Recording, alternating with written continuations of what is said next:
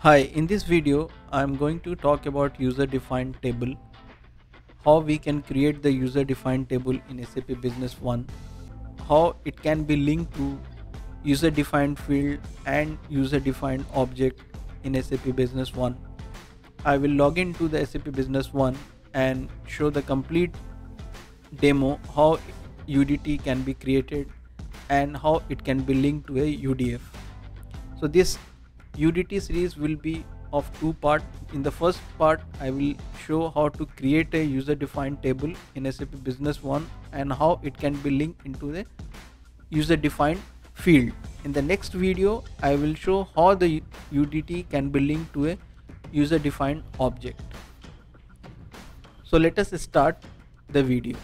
If you found this video informative, give a like, subscribe the channel and hit a bell icon. Thank you. So user defined table are custom built table in SAP Business One. UDT gives you the ability to store additional related sets of data in SAP Business One. UDT is prefixed with at the rate symbol and can easily distinguish from the system table. To create UDT in SAP Business One, we need to pass three field value. We need to pass name, description, and object type. There are six object types available to create a UDT. To link table with a user defined field, we need to select the object type as a no object or no object with auto increment. If we select the no object, then the code will not be automatically generated in the UDT that we have to manually put the code which will be the unique value in the UDT. But when we select the no object with auto increment, then the code in the table UDT will automatically generate it. So by default, when we create any UD, UDT, it will have a two field by default code and name. In order to link the UDT with the user defined object, we have to select the object type either master data, master data rows, document or document rows. Note that you cannot change the object type after you have added the user table to the system.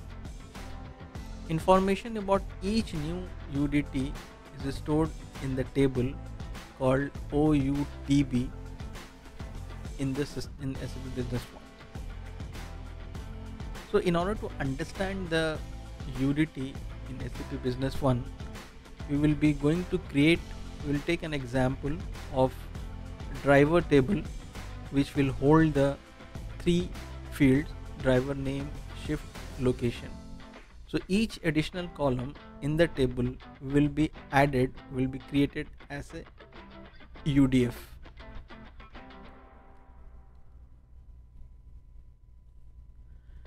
To make a user table directly visible to user form or document, we have to link the table to the user defined field or user defined object. Note that user tables can only be linked to a user defined fields with the alpha type and regular structure. So when we link the UDF, the UDF must be created with the type alphanumeric and the structure should be regular. So in the example, we'll be creating a driver UDT which is going to be added in the title of a marketing document. When you add a user defined field, choose the set link table validation option and link the can link the same user defined table to multiple user defined fields in a different object at both the header and the row level. So let us log into the business one and create a UDT called driver and link this UDT to a user defined field in the marketing document. If you found this video informative, give a like, subscribe the channel and hit a bell icon. Thank you tools customization tool user defined table setup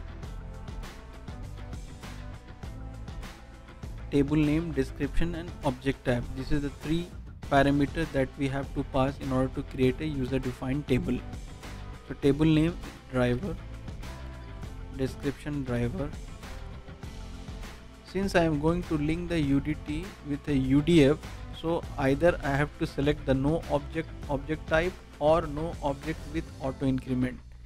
In no object type the code field will not be auto incremented. In the no object with auto increment object type the code field will be automatically incremented. I will select the no object with auto increment. Update. Okay. So UDT got created we can see in the tool user defined windows driver.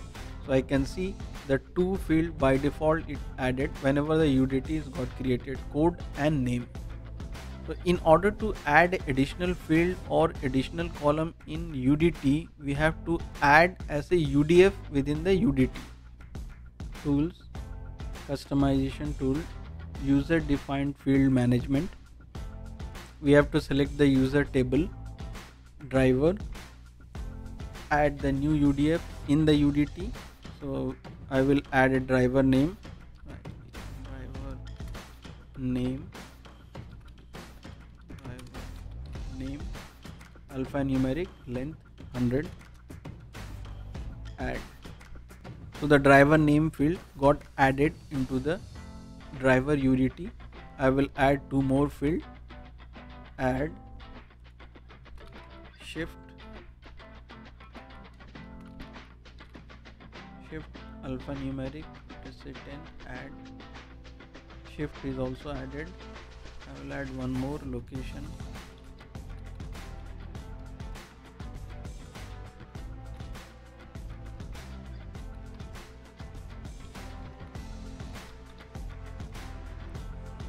Alphanumeric 100 length so three columns or fields have been added into the driver UDT. Let us go and check tool user defined window driver. So by default code and name was created at the time at the beginning when we create the UDT. Now we have added three more columns in the UDT as a driver name, shift and location. I can populate some of the rows here. Driver name let's say ABC driver name ABC shift day shift location Mumbai India. Let us add one more row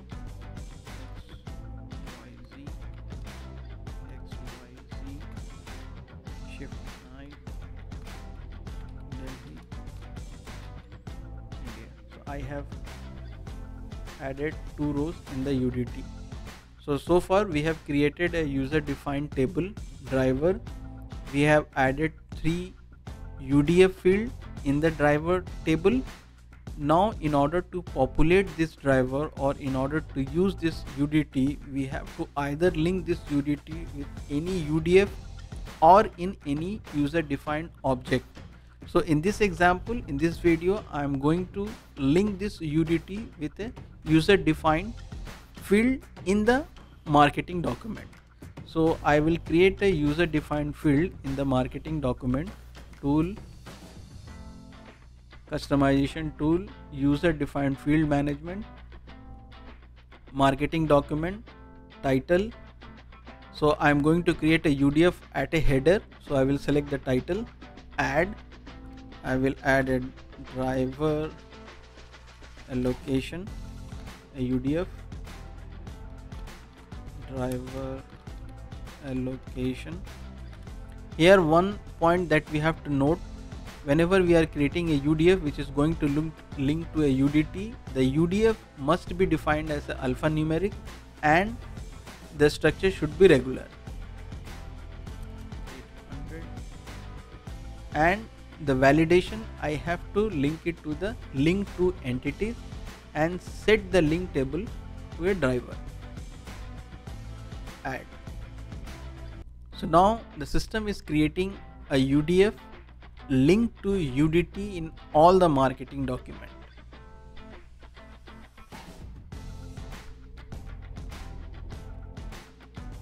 So now the UDF driver allocation got created in the marketing document and which is linked to a UDT. So whenever we fill the data in this UDF, it will populate from a UDT.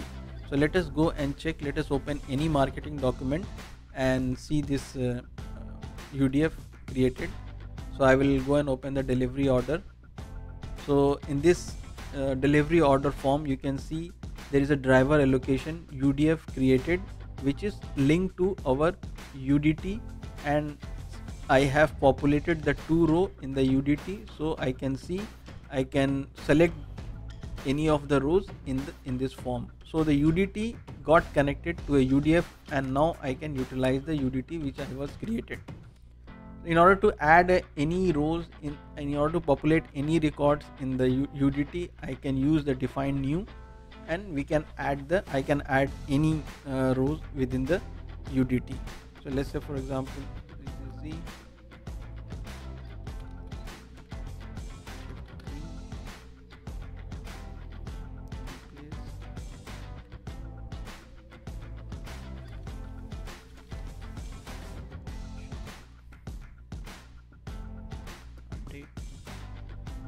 so I've added one more row using the form and I can see the the row got populated in the UDT and which is linked to the UDF.